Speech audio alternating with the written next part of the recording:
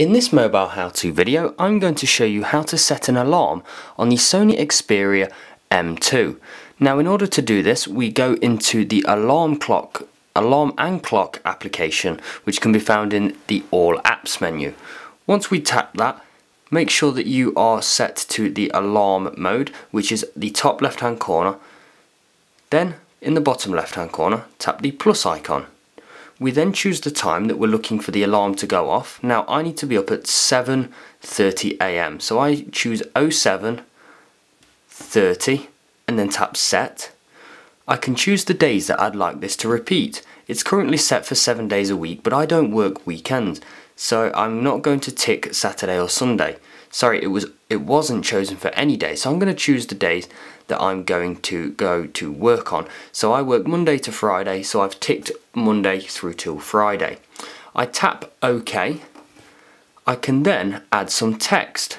I can have it repeat as well, which we'll go through. In fact, that's what I've just been through.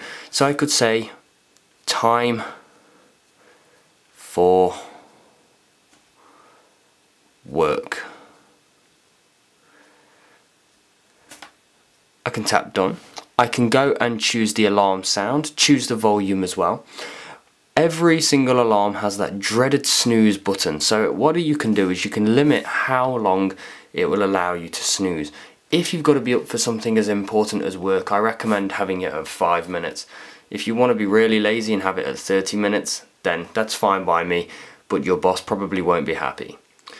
I can have it to vibrate, which is very handy if you've got it on a hard surface. Can add to the volume and also, uh, you know, that annoying buzzing sound. That's more than likely going to wake you up alone. Alarm in silent mode. Play alarm even when the device is in silent mode. I recommend having that ticked. Side keys behavior. Set des uh, desired behavior of the side keys when pressed during an alarm.